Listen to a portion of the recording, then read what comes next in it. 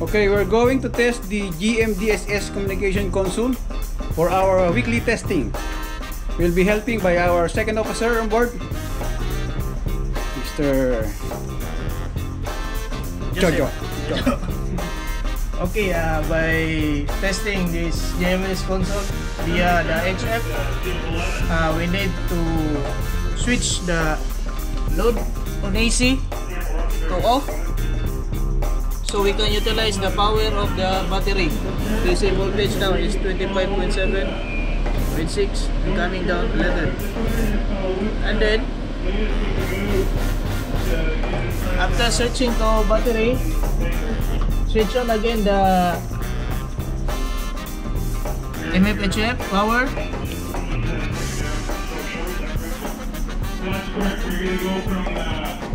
and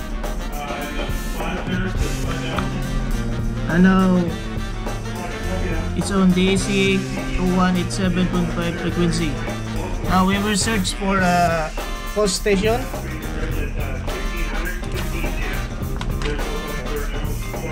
Which is near. We choose the point Reyes na 003669990 near to Vancouver and we will set on the MHFF DC so click menu. And select individual call. And then put the information like address. Address of Point Reyes 0366 9990 and then category safety for testing Telecoman 1 G3 Intel. Number 2 no information. Shift position automatic loaded. It's automatically updated. Then enter the desired frequency you need to test. So the frequency you need to test are the frequency for the stress. All this frequency from MF to HF and then we will input now. First the 2187.5 click enter. And change the frequency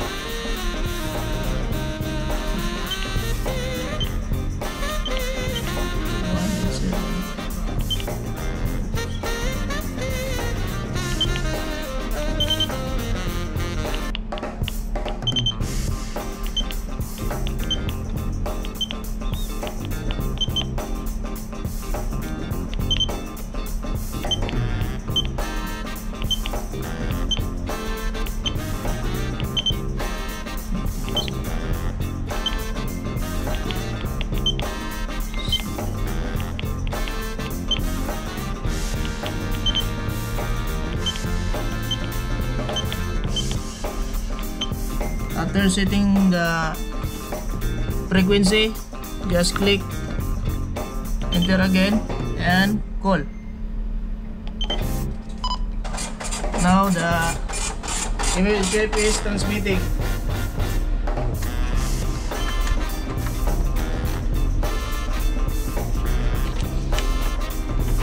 Usually the the close station will send reply to you but some station will not so until then after after using this frequency you need to change again to another frequency until you reach to 16,804.5 Okay, so Okay. this is how the weekly tests of our GMDSS communication console are being done. So as uh, we have seen, the power has been uh, from uh, normal power on our AC now converted to DC by using our batteries. Ayan. Okay, thank you very much. We'll back to normal. to normal Looking back to normal.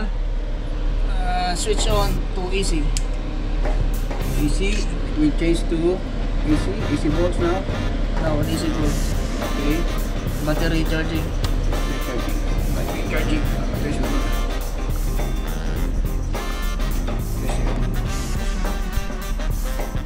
Carry out weekly test to coastal station and battery